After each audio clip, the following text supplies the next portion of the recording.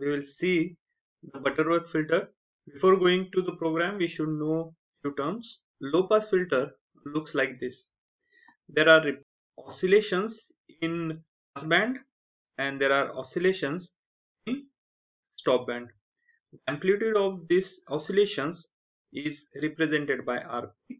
Amplitude of oscillations in stop band is represented by RS. There will be omega p. Omega p is passband frequency.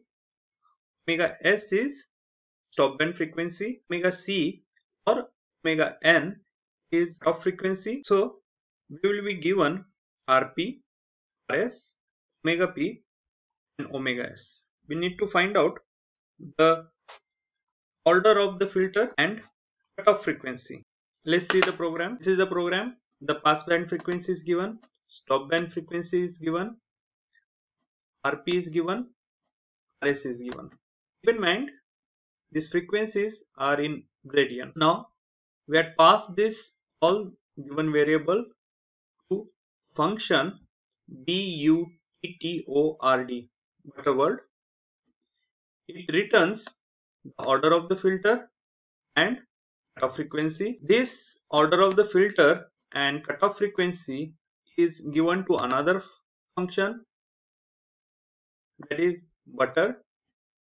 This function designs the Butterworth filter and returns the poles, zeros and the gain which is represented over here.